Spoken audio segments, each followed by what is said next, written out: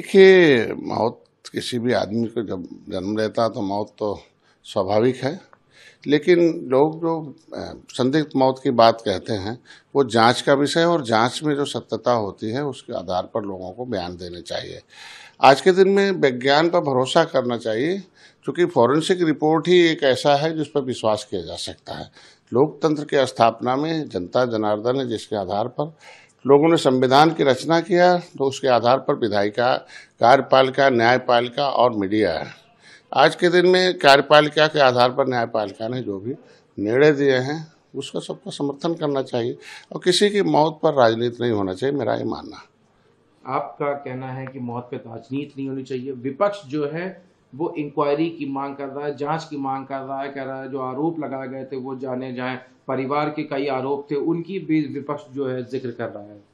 देखिए, अभी पहला तो है कि हमारी सरकार, माननीय योगी जी हैं, वो कभी भी कुछ होते हैं तो उस पर विशेष रूप से जाँच करते हैं। जाँच में जो दोषी पाया जाता है, उसके खिलाफ कड़ी कार्रवाई करते हैं। आज के दिन में देखिए कि उसमें जब पोस्टमार्टम में टीम गठित हो गई है, उसमें डॉक्टरों की टीम लगी थी तो पोस्टमार्टम का इंतज़ार करना चाहिए। विपक्ष के पास आरोप प्रत्यारोप के अलावा बचा क्या है? आज के अनुसार लोगों को हमेशा पोस्टमार्टम जो होता है, वो पोस्टमार्टम फॉरेंसिक रिपोर्ट होती है, उसके आधार पर लोगों को बयान देने चाहिए।